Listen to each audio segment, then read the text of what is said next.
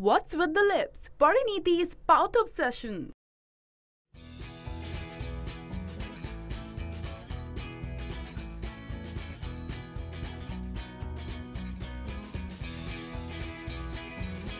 It seems the Kill actor Parineeti Chopra has learned a new pose, which she absolutely loves.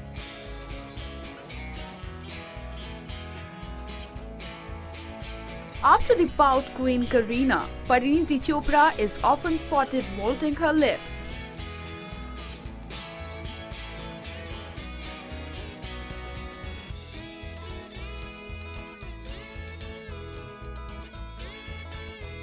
While promoting Kill Dil, Pari overdid pout pose which wasn't going too well on her. The 26-year-old actress was seen shaping lips on every event, every picture. Making kiss-ready lips is an art and we believe Kareena has mastered it.